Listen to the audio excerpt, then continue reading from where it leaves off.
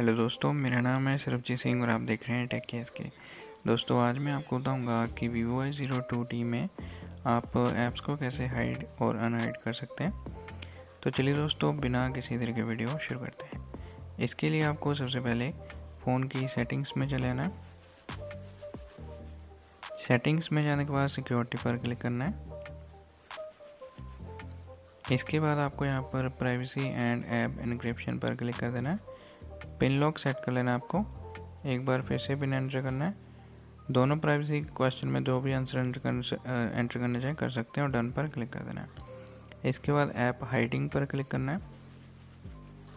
View hidden apps को यहाँ से ऑन कर देना है और वेरीफाई प्राइवेसी पासवर्ड को भी ऑन कर देना है। अब आपको जिस भी ऐप को हाइड करना है, उसे यहाँ से ऑन कर देना है और ओके पर क्लिक कर देना है। ऐप हाइड हो जाएगी।